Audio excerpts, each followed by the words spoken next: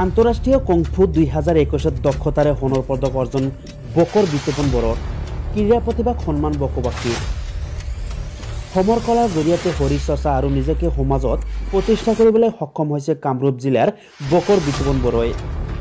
উল্লেখ্য যে দক্ষিণ এছিয়াৰ ফেডাৰেশ্যন অৱ অল স্পৰ্টছৰ উদ্যোগত ৰাষ্ট্ৰীয় স্পৰ্টছ কাউন্সিল অৱ নেপালৰ তত্বাৱধানত নেপাল জামাচাৰ স্পৰ্টছ ক্লাবৰ সহযোগত কাঠমাণ্ডুত আয়োজন কৰা হৈছিল দ্বিতীয় ছাপাছ আন্তঃৰাষ্ট্ৰীয় কংফু গেম দুই হাজাৰ একৈছ বৰ্ষৰ প্ৰতিযোগিতা।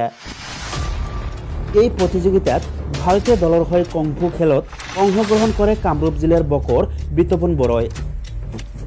ইফালে উচু কংফু একাডেমী বকৰ প্ৰশিক্ষক গোবিন্দ দাসৰ তত্বাৱধানত প্ৰশিক্ষণ লোৱা বক চক্ৰপাণীৰ অজিত বড়ো আৰু অৰ্চনা বড়োৰ পুত্ৰ বিতপন বড়োই জুনিয়ৰ শাখাত বিয়াল্লিছ কেজি কেটেগৰীত সৰ্বোচ্চ সন্মান অৰ্জন কৰি সোণৰ পদক লাভ কৰে।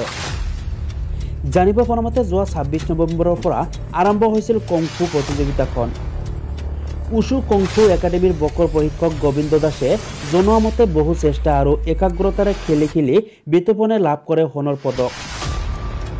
আন্তঃৰাষ্ট্ৰীয় কংফু গেমত পদক অৰ্জন কৰি বকৰ সন্মান উজ্বলোৱাৰ বাবে বিতোপনক বকত উষ্ণ আদৰণি জনাই ক্ৰীড়াপ্ৰেমীয়ে। বকুৰ পৰা ধনমণি মেধিৰ ৰিপৰ্ট দি নিউজ। কচোন খেলত কেনেকুৱাকৈ আপোনালোকে পাৰদৰ্শিতা দেখুৱাইছে? আমি বক উচু কংফু একাডেমীৰ পৰা ইণ্ডিয়ান টীম হৈ গৈ নেপাল কাঠমাণ্ডুত হোৱা গেমত গ'ল্ড মেডেল বিতুপন বৰাই গ'ল্ড মেডেল পাবলৈ সক্ষম হৈছে